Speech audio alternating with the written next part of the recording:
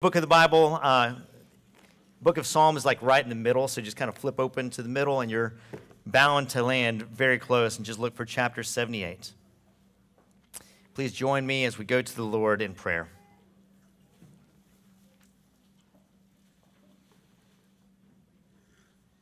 Father, this morning we thank you for the gathering in of your saints. We thank you for the opportunity to, to be together with our brothers and sisters in Christ those for whom Christ died. Father, we are together here today to worship you and to hear from you. So, Father, we pray that you would speak to us through your word. We are your people and we want to live our lives according to your counsel and your direction. So, speak to us, Father. By your Holy Spirit, Father, I pray that you'd fill us afresh and help us, God, to have eyes to see and ears to hear and hearts to understand and apply your word to our lives. I pray, Father, that you would change us this morning, empower us, and strengthen us, Father. For those who are coming in weary, tired, discouraged, frustrated, struggling, God, I pray that you would lift our gaze to you this morning. Please help us now, Father, for your glory. In the name of Jesus, we pray. Amen. Well, Psalm 78, uh, it's, a, it's a long psalm. We're going to read the first eight verses, uh, which is where we're going to focus our time this morning, that we'll kind of drop in and out of the rest of the psalm throughout our time. So please read with me Psalm 78. This is God's holy and authoritative word. Give ear, O my people, to my teaching. Incline your ears to the words of my mouth. I will open my mouth in a parable. I will utter dark sayings from of old things that we have heard and known that our fathers have told us. We will not hide them from our children, but tell to the coming generation the glorious deeds of the Lord and his might, and the wonders that he has done. He established a testimony in Jacob and appointed a law in Israel, which he commanded our fathers to teach to their children, that the next generation might know them, the children yet unborn, and arise and tell them to their children so that they should set their hope in God and not forget the works of God, but keep his commandments. And that they should not be like their fathers, a stubborn and rebellious generation, a generation whose heart was not steadfast, whose spirit was not faithful to God. May God bless the preaching and the hearing of his word. Well, this is the first message in a series that we're calling Real Godliness for Real Life. We just finished uh, almost a year long, well, no, a year long, no exaggeration, uh, series in the book of Acts that we have thoroughly enjoyed. I love the book of Acts. It's been such a good series. I hope it's been encouraging for you and strengthening for you and envisioning for you. And after this short series, we're going to launch into the book of Psalms for the rest of the year, for which we're also very excited about. But in between those two series, we thought we'd kind of sandwich in a short series called Real Godliness for Real Life. As you know, we are a church that preaches expositionally, so we take books of the Bible and just preach all the way through. Uh, but here and there, we're going to take little moments to address the church pastorally on issues that we think would be helpful. And today, being Father's Day, since we just spoke on mothers uh, on Mother's Day, uh, we thought we would take advantage of this moment to, to give a message on the topic of fatherhood. Father's Day is not a day on the church calendar, and we don't normally focus an entire message on this topic. But again, given the timing of this, we thought it would be good and helpful to address this. But like Mother's Day, this is a day that, that we're aware is a, it's a different experience for different people in this room. This is a, uh, it's a hard day um, for some of us, maybe a sad day. There's uh, probably some of us in this room for whom this is the first day, uh, the first year that we're celebrating this day um, since dad died. Um, so it's not a great day of joy. Probably for other people, it may not be a death, but it may be a bad relationship. It may be a broken relationship right now that we're aware of, frustration and hardship. Um, and so today's a, it's a sad day, it's a, it's a difficult day. There are fathers in this room that feel regret, especially older fathers perhaps, that, uh, that are aware of, of ways that we have failed and away, aware of things that we wish we would have done differently. Wish we would have been a different sort of father. And there are men in this room that are battling infertility who want to be a father this morning. Guys, we know we're here and we love you, and God sees you, and He knows and He cares, and He has grace for you this morning. Psalm 78 is a passionate plea to fathers to gladly bear responsibility for their families. It is a responsibility of passing faith on from one generation to the next. The title of this psalm in my Bible, the, the little subtitle, is Tell the Coming Generation. And that's our job as fathers, is to proclaim to the generation to come so that they might set their hope in God. It's aimed primarily at fathers, but this is not a call that is exclusive to fathers. This psalm is not exclusive to fathers. It's a call to the whole church. It's a call to fathers and mothers alike. The language is addressed specifically at fathers, but it is much more broad than that. In fact, there's a call in the psalm to the entire church as a body to come alongside families as we disciple our children, as we proclaim to, from one generation to the next to set their hope in God. So, this is a call to every one of us personally this morning. So nobody should be checking out because God's word addresses us all. But with the force of this text, I'm going to address most of my comments directed at the dads in this room, directed at the topic of fatherhood.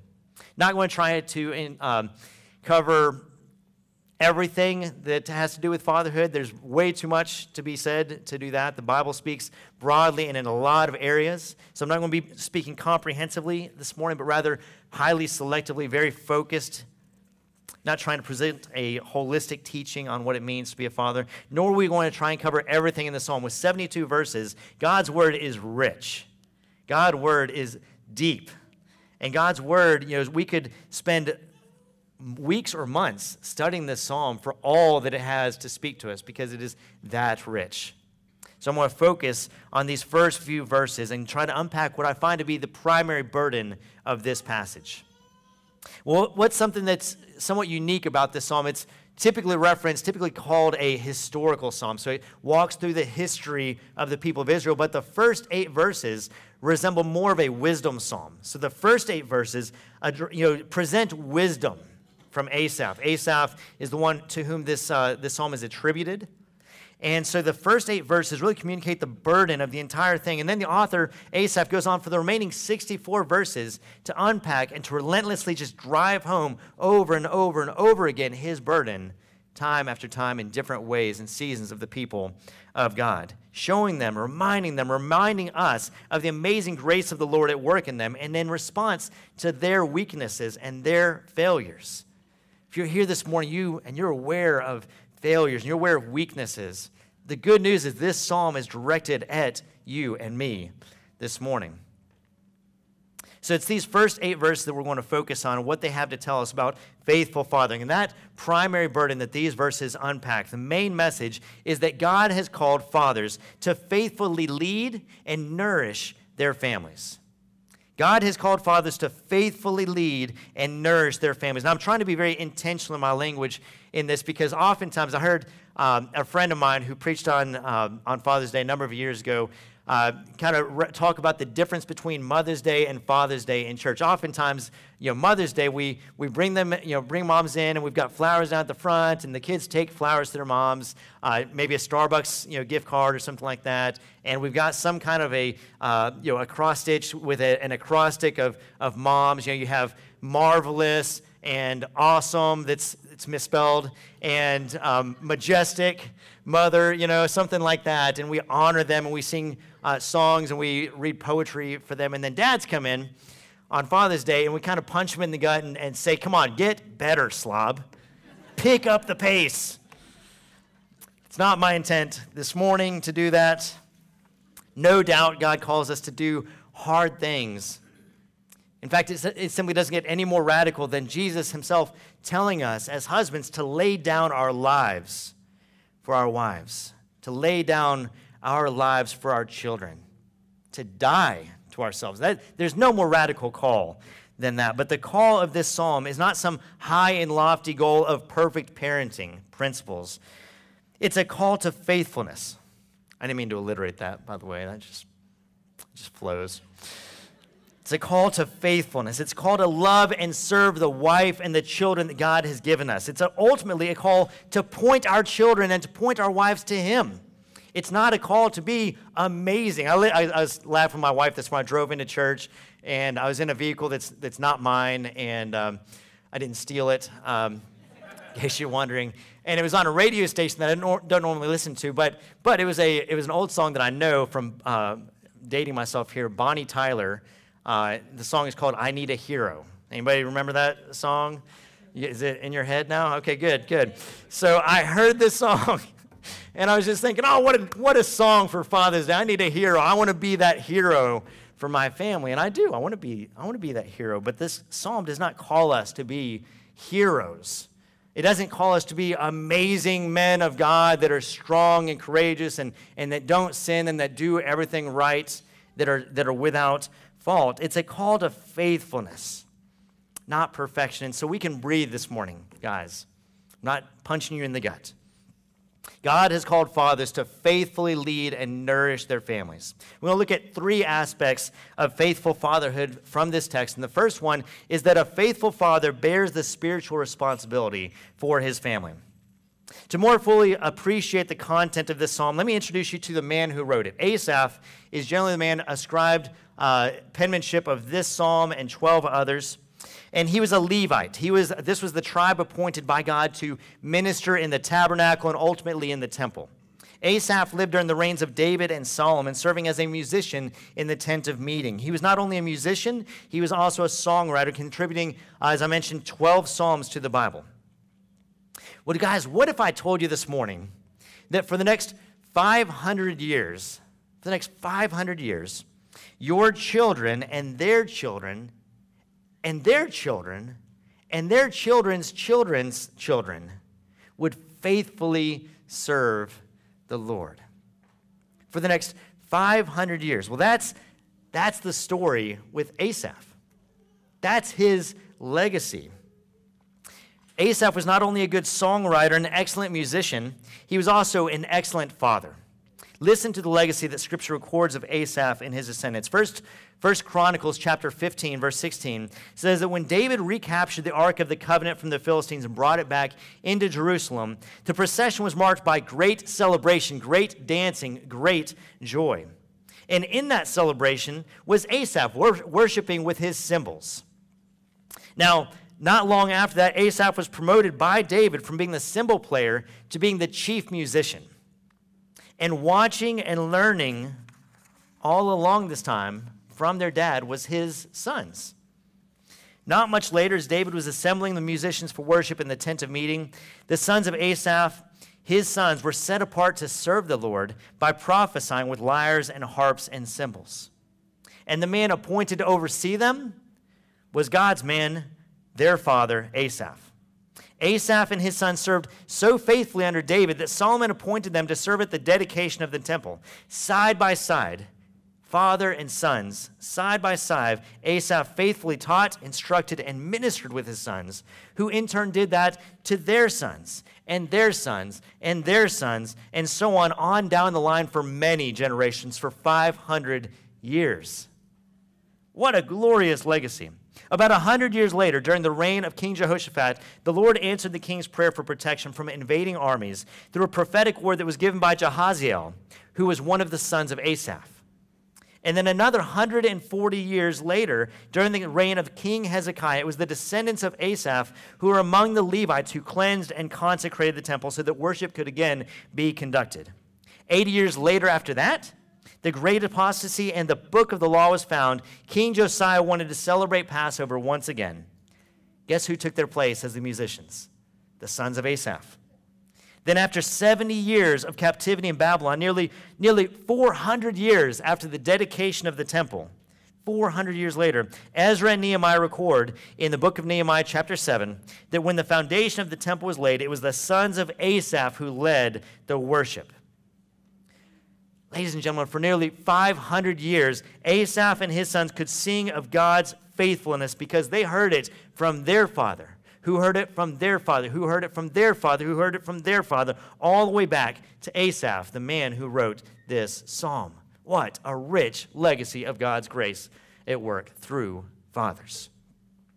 Fathers, isn't that the cry of our hearts? Isn't that what we want for our children, for our grandchildren, and our great grandchildren, and so on through the ages? Don't you cry out with me, Father, help me to deposit your grace in my children's hearts so deep that for generations they will tell their children and their children and their children and pass it on to those who are yet unborn.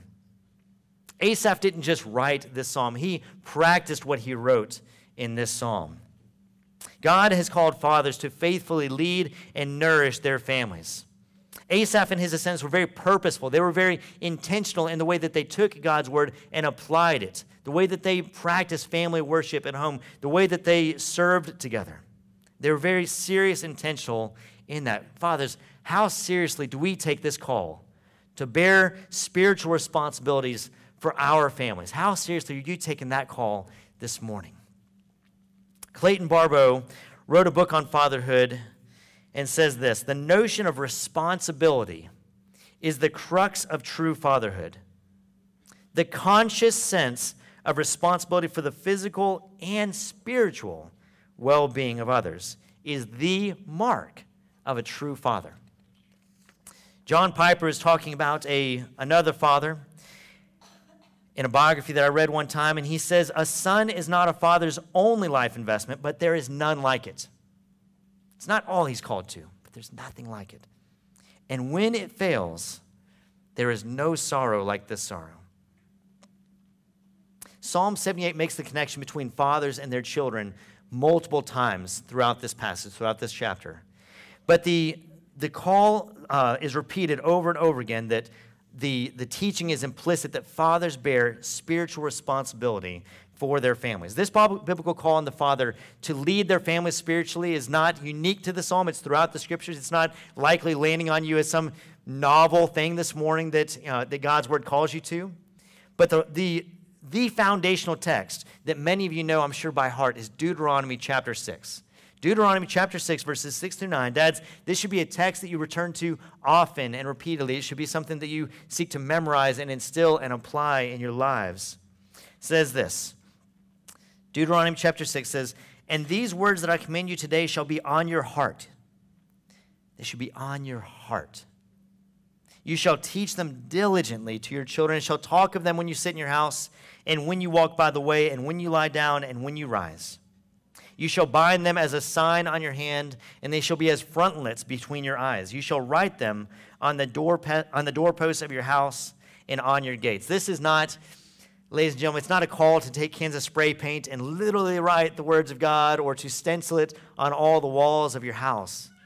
To be applied woodenly like that and without heart. This is a call. The pri- it's a call to the primary context of parental instruction. It's the ordinary context of daily living in which we're called to disciple our families, in which we're called to lead our families, the normal experiences of daily life when you're out to lunch and when you're at the store and when you're in, sitting at home and when you're tired. Your children, it's, a, it's your children see the power of a life of faith as they see you living it, as they see you living out your own personal life, as men of integrity living life in the rich, robust truth of the Word of God. It's a call to faithfulness. It's a long obedience in the same direction as one author wrote it. Robert Murray M'Cheyne, one of my favorite authors, says that what his people needed most was his own personal holiness. I love that quote, and I think it applies to us as dads. It applies to us as fathers, as husbands. What our wives need most, what our children need most, is our own personal holiness. Yes, we, they need our physical provision and protection and everything else. But we can tell our children all we want that they should walk in the way that the God calls them to. If they don't see us doing that, guys, if they don't see, if our kids don't see us reading our Bible and singing songs with enthusiasm, if they don't see us praying privately and publicly with them, they're learning more than what you're saying. John Paton, uh, is reminded of, a, of another biography that I read, read uh, you know, a number of years ago. And John Paton, uh, in his autobiography, is honoring his father. And he's talking about this aspect of his father's leadership at home. It wasn't just the explicit you know, moments of family worship, but it was his own personal example that meant more than anything to John Paton. Listen to what he says about his dad. He talks about this closet where his father would go for prayer as a rule after every meal. His father had 11 children who knew about this and they reverenced this spot and they learned something profound about God through this example of their dad.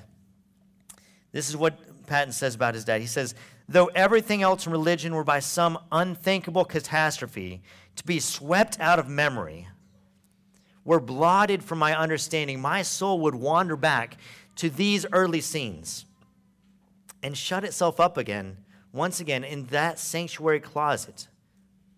And hearing still the echoes of those cries to God would hurl back all doubt with a victorious appeal He walked with God, why may not I? He goes on later and says, How much my father's prayers at this time impressed me, I can never explain nor could any stranger understand. When on his knees, and all of us kneeling around him in family worship, and what a picture that is, he poured out his whole soul. He poured out his whole soul with tears for the conversion of the heathen world to the service of Jesus and for every personal and domestic need we all felt as if in the, as if in the presence of the living Savior and learned to know and love him as our divine friend. Fathers, don't underestimate the power of your example, just of you being you, men of integrity, living out your faith at home. Secondly, the, they need our example, they also need our instruction. They need you to lead them, they need you to talk to them. And guys, most of the time, when we're called to do this, it's times when it's not convenient, it's times when we're tired. A wise father, though, knows to talk to his children when they're in the mood, when they perk up. Every so often, they'll ask a question, might be late at night. Chuckling, there's a dad in the room I know stays up until like four in the morning at times. He identifies these moments they re- make a comment, they reveal some little aspect of their heart that you, you identify that and you cling to, and you say, okay, this is a moment that I need to drop everything else. I need to reorganize my time here. I need to take my to do list, and I'm a fan of to do lists, and I don't like getting off my to do list, getting off my schedule. But I recognize these moments. I want to stop and say, okay, everything else stops. Let's, let me shepherd my child in this moment. We should teach and remind our children at every opportunity, both individually and collectively, but most important of all, we want to do it consistently. We want to be consistent in our application of this, and we need grace. So here's what that looks like for me. I have two jobs. It's the joy of my life to be a pastor in this church and to give full time attention to this church as my job, and I love it. I love it. It also takes a lot out of me. And on top of that, I have a business that I run with employees and customers and, uh, and economic realities, a fluctuating economy that has bearing on our financial bottom line. So when I come home at the end of the day, especially if I've been outside, I live in Texas, I've lived here my whole life, and it's hot. It's hot right now. Amen? It is hot. I come home at the end of the day, I'm hot and I'm tired, and I have a leather La-Z-Boy in my living room that is attractive and I want to go in there and grab a nice glass of something cool and refreshing and plop down and relax and just settle down for the night. If I'm honest, I want my wife to come and entertain me somehow. I want my children to do some kind of dance and tell me of all the amazing things that they learned. And I want somebody to take off my boots. Just being vulnerable. Am I the only one here? But that's not what God has created us to do. I've got a wife, I've got five young sons, and they need me to lead them. My wife has been serving. I don't want to come home and compare my day to her day and tell me about, oh, you had a hard day? Let me tell you about my day. Let me tell you about the you know, frustrating customer out in the hot sun and, and all this. That's not what I'm called to do. I want to come home and lead when I'm tired and I'm hot and I'm sweaty and I just want to chill. God calls us to lead and to lay down our lives for our wives. So here's what I do. Here's what I aim to do every day because I need this grace. When I'm on my best days, I pull in the driveway and I pray. Or maybe I stop before I get home because now somehow my kids know when I'm pulling in the driveway and they open up the garage door and they come running out and, and then they interrupt my prayer because they're excited to see daddy, which I love. Don't want to discourage that, but I need help. Because even when they're coming in and running and, and jumping up and, and tackling me, I'm like, whoa, whoa, slow down, guys. I'm hang on, man. I'm tired. I need, I need a minute here. And so I pray and ask God for strength to go into my house and serve. I want to go into my house. I want to look at my wife who's been serving her heart out all day long uh, whether she's at home or if, if your wife is at work. Uh, I want to walk in the door, find my wife, and tell her how grateful I am. And I want to ask, how can I help? How can I serve? Do you want me to take over in the kitchen? Do I need to clean up a little bit? Do you want me to take over with dinner? Do you want me to take the kids and just and just take them outside, take them away for a little bit to give you some peace and quiet because you've had them all day long? Do I need to address any of the kids for their behavior? Depending on all that, at some point, I'm I'm playing with my kids. At some point, I'm down on the ground having tickle fights uh, with my two year old, my four year old, um, and I'm, I'm looking for creative ways to address their hearts. I'm looking for creative ways to draw them out and hear what's going on in here today. We have some kind of spiritual conversation at some point together. You, you do that in the mornings, you do that in the evenings, at some point, having some kind of spiritual conversation, doing that at the dinner table, and then pray with them. Let them hear you praying with them and for them and interceding on behalf of others. Let them hear you pray. And at the end of the night, guys, I'm exhausted. And I fall down into bed. Maybe I collapse on the couch and I, I turn on a show every now and then, or, you know, whatever it is, my third one, you know, third night in a row, and I feel the smile of God upon me as I look back and I think, okay, that was hard, and I'm tired, I'm exhausted, and nobody's worried about me, which is not true. But that's, that's the, the me monster within me saying, What about Aaron? But I feel God's smile upon me as I collapse exhausted into bed. That's a good day. And that's what God calls us to. I could take time. I was joking with another guy this morning. There's I could it would not be time poorly spent for me to just take time to tell you about men in this church that I know who lead their families well, who've done this faithfully for decades, who are in the middle of it right now. Men who I look to and learn from and am grateful for. Uh, the diversity of men in this church who do this so well, model this for us. So, guys, this morning, if this is an area that is new for you or just an area of ongoing struggle, here's what I want you to encourage you to do. If you have community group this week or next week, whenever it is, you got your men's meeting, go to that and, and share that. Just be honest with the other guys because you're not alone. I need grace every single day to do this. And I'm a pastor, I do this full time, and I need help every day. Go to, your, go to the men in your small group and ask for prayer, ask for help and let's pray to God for a revival of men who take this seriously in our homes. God has called us to bear spiritual responsibility in our homes. Secondly, a, fa- a, faithful father aims for the hearts of his children. Look with me, if you will, at verses 7 and 8. So here you have Asaph sharing his burden, and he's contrasting it in both positive and negative terms. Positively, he says we want our children to set their hope in God, remembering his works and to keep his commandments. And negatively, he says that we should not, uh, we, we want them to not be stubborn and rebellious, whose heart was not steadfast and whose spirit was not faithful to God. Fathers are called to this task of spiritual leadership, of spiritual responsibility for the purpose of shepherding the hearts of their children and not their outward behavior alone, so that they don't forsake the faith, becoming rebels and renegades, and repeating the pattern that unfolds for the rest of this book.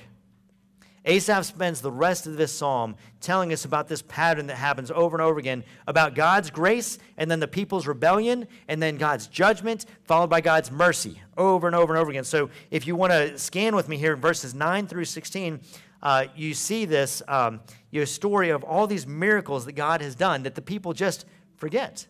They just stop remembering and they just stop calling to mind. It's not that they literally don't remember, like, uh, he did that? No, I don't, I don't remember that at all. No, it's just that it's not on their mind. They're not thinking about it. They're not meditating on that. They're not remembering and recalling it to mind. Verses 9 through 16, you have miracles forgotten. Verses 17 through 31, you have them just murmuring and complaining in unrest. Verses 32 through 39, you have this seem, you, you have this kind of facade of repentance that God calls meaningless. worthless. Verses 40 through 53, you have the people of Israel's ingratitude for God's deliverance. He does it, and then they just complain and they're ungrateful. You guys read the Bible like this, like I do, like, uh, guys, come on, get with it. And, it's, and that's my story too, though.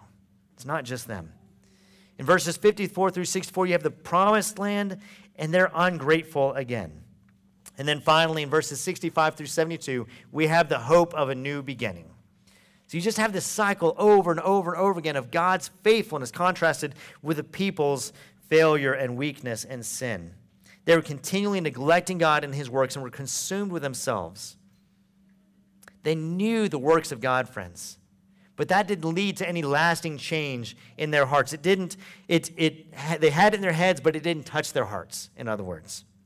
The goal of faithful fathering or faithful parenting in general is not simply the transfer of information. It's not simply telling them and having them recite things, but it's a process of, it's not information, but it's transformation that we're after. Does that make sense? Not information alone, but transformation. We use information to lead to transformation, but information alone is not enough. We want our children to set their hope in God.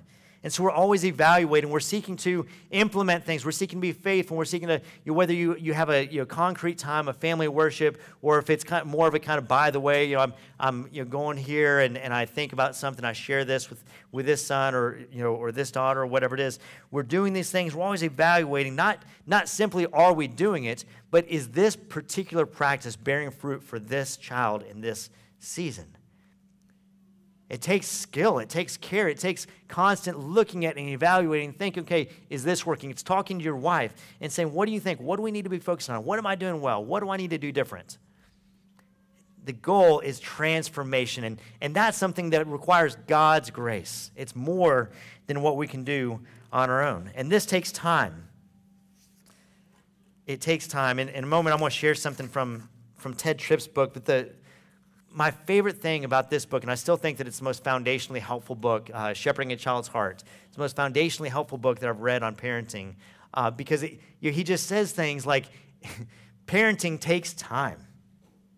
It's not convenient, it's not efficient.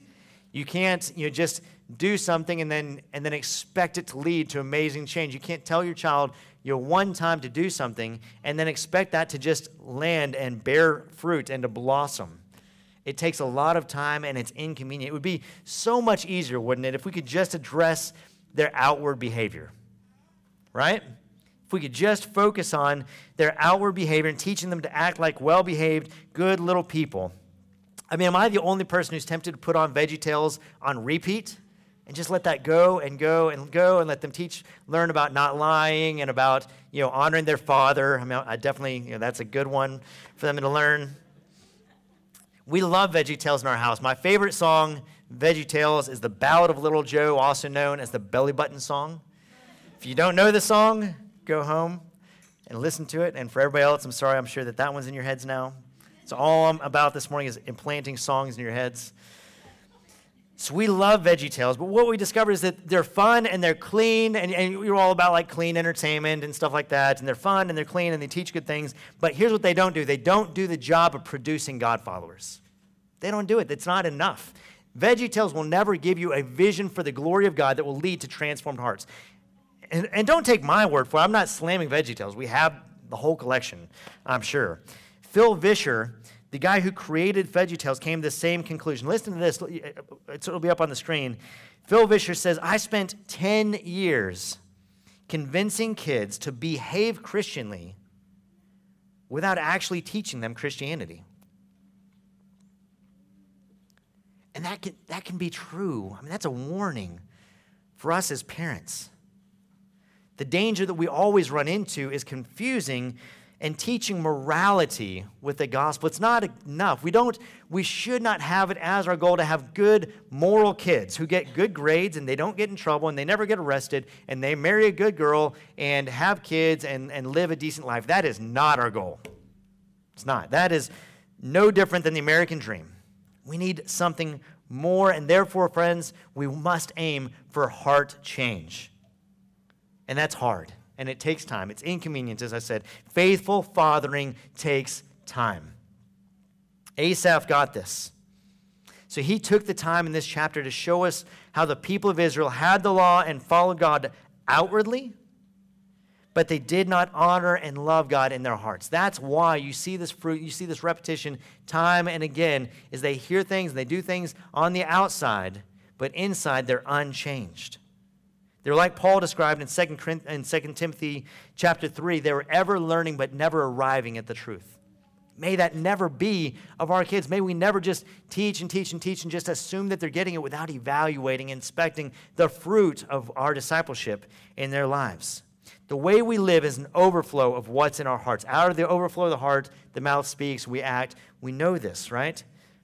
And so that must be the focus of our parents. We need to direct not simply their behavior, but the attitudes of their hearts. Not just the what, but also the why. We must help our children understand that the way that God works is from the inside out. It's not that He focuses on cleansing the outside of the cup without, without worrying about what's inside. No, He works from the inside out. That's God's way. Tedd Tripp, in his book Shepherding a Child's Heart, says the central focus of child rearing is to bring children to a sober assessment of themselves as sinners. They must understand the mercy of God who offered Christ as a sacrifice for sinners. How? How is that accomplished? You must address the heart as the fountain of behavior and as the conscience and the conscience as the God-given judge of right and wrong. The cross of Christ must be your central focus of your child rearing, the cross of Christ. It's not enough to teach them to be good kids and obey the Ten Commandments and you know, to honor their mother and father and to be nice with their friends and not to tell lies and not to steal. We want our kids to set their hope in God, to, to work in here. That's our aim there. Remember my friend uh, Bob Kauflin I was teaching on parenting one time, and he said that the, uh, the primary objective of, of parents is to help their children establish well worn paths to the cross. We need to establish well worn paths to the cross for them because they're going to need to walk that road time and again, and they need to learn it first at home. They need to learn that from us. So we want to understand our child's inner struggles. We want to, we want to, we want to try to look at the world through his or her eyes. We want to understand. And this takes time, it's hard, it's a lot, it's a high calling. Knowing this, seeing this, will help you to know what aspects of the gospel are appropriate for this conversation. Because it's not a, it's not a one size fits all, it's not the same truth every time.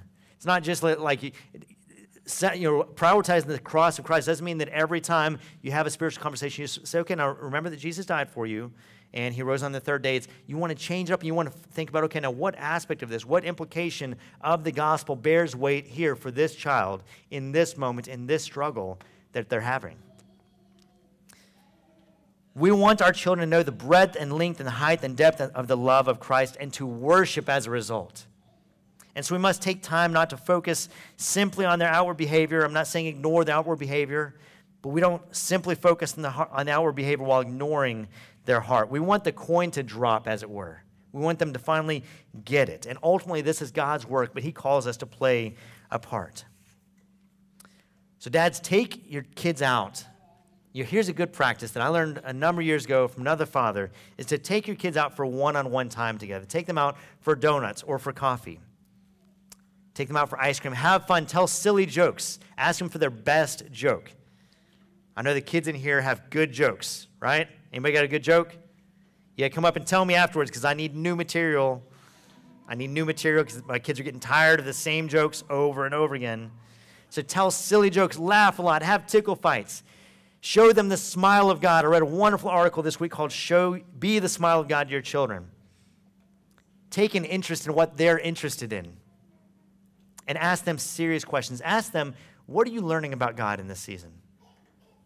What's a struggle right now, son, that you're walking through that I can help you with? Sweetheart, where are you currently struggling and need help? What are you praying for God to do in your life in this season? Ask your kids these questions.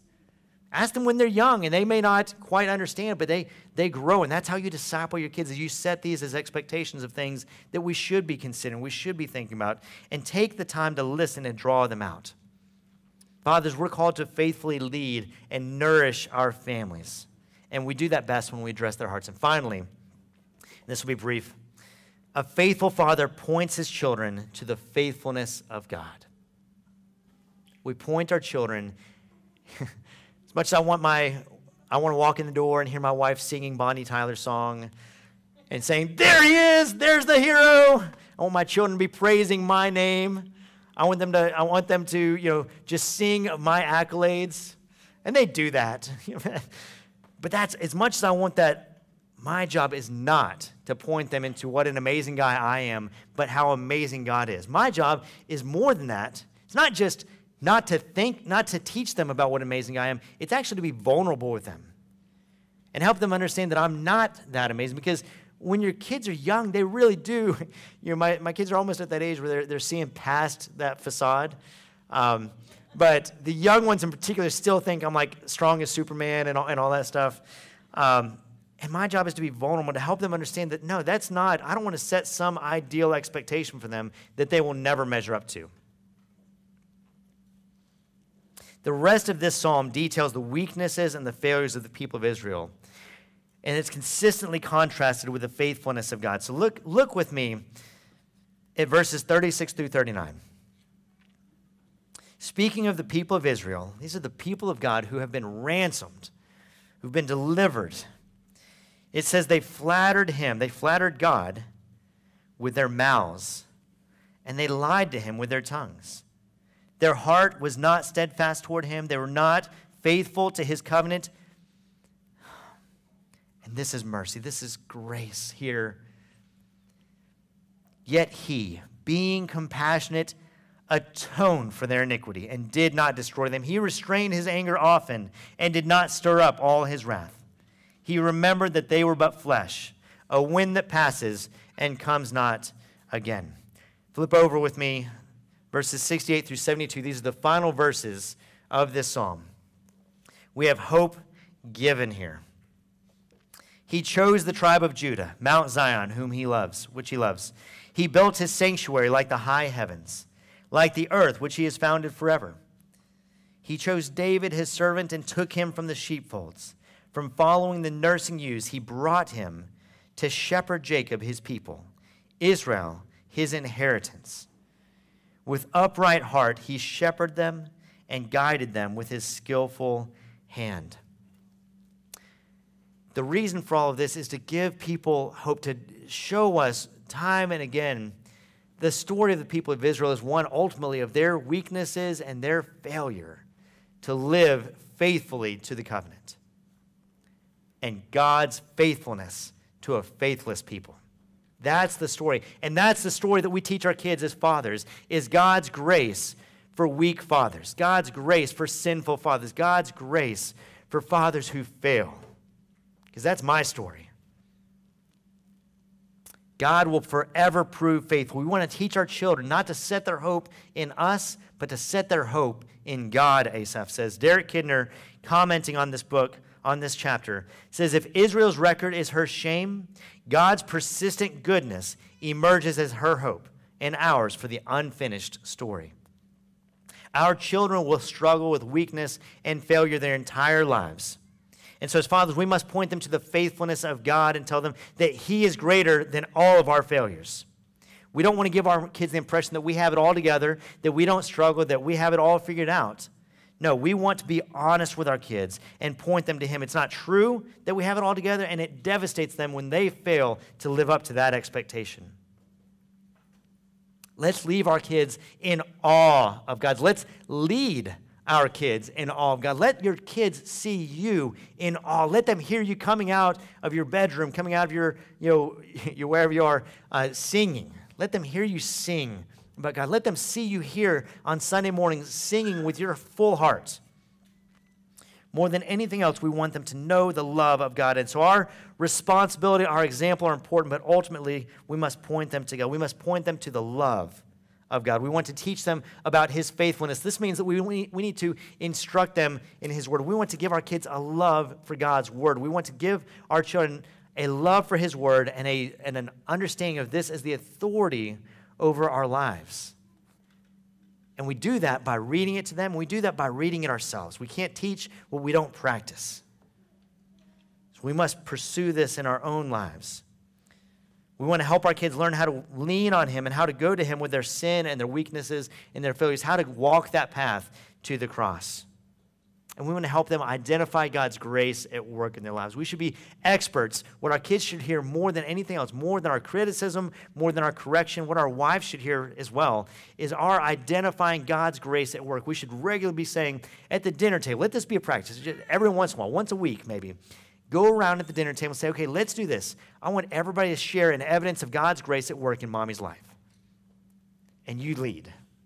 And take time to really study that. Study, study the fruit of the Spirit. Where do you see that at work in your kids' lives? That's God's grace. That's not them. That's God's grace helping them to be patient when they struggle and they're irritable.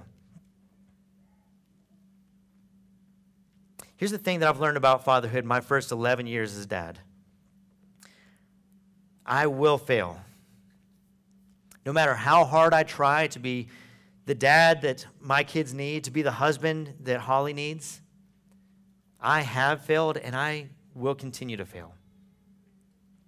And it's real, and it, it really affects them.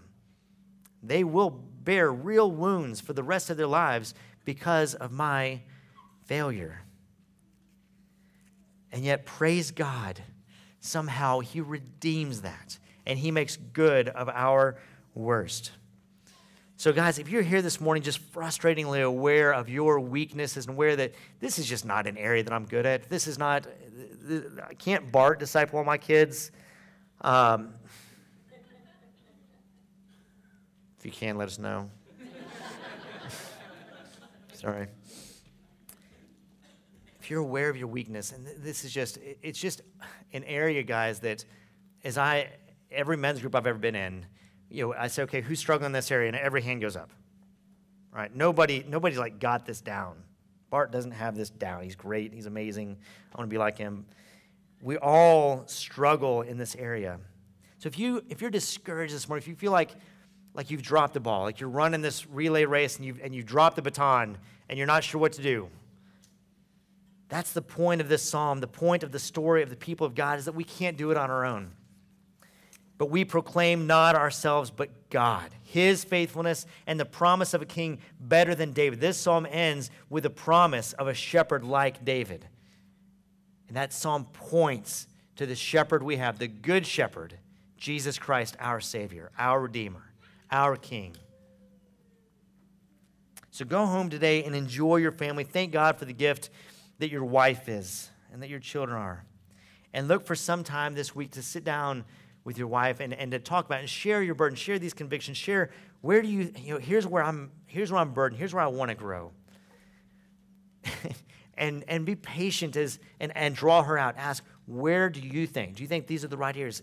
How can I grow? And listen and take notes.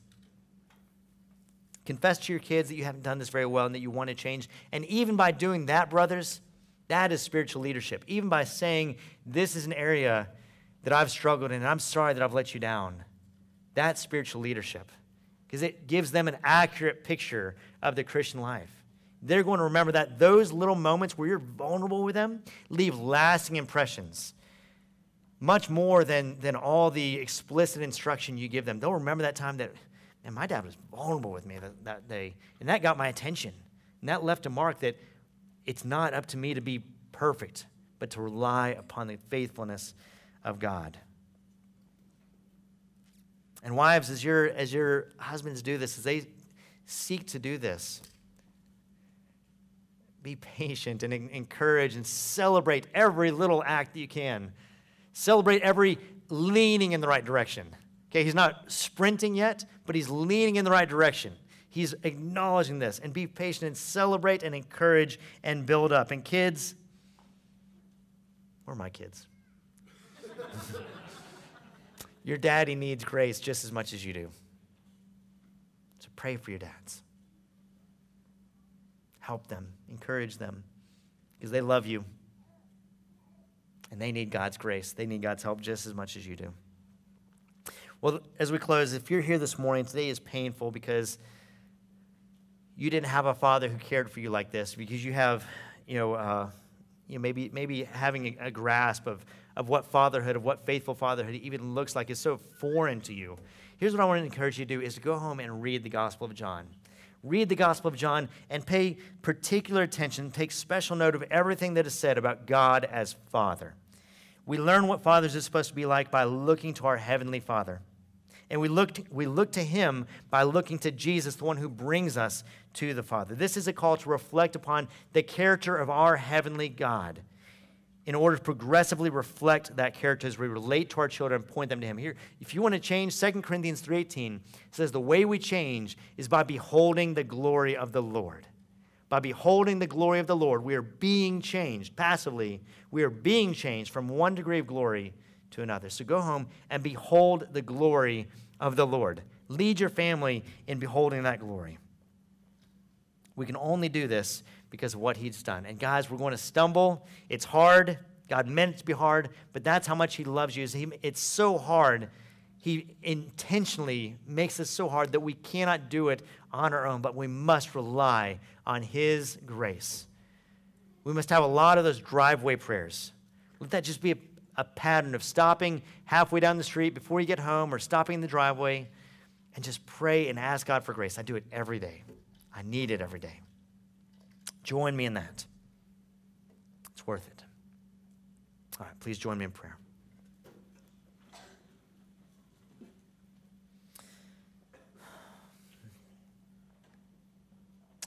Father in heaven, we thank you for your word. I thank you, God, for this amazing story of Asaph and his descendants.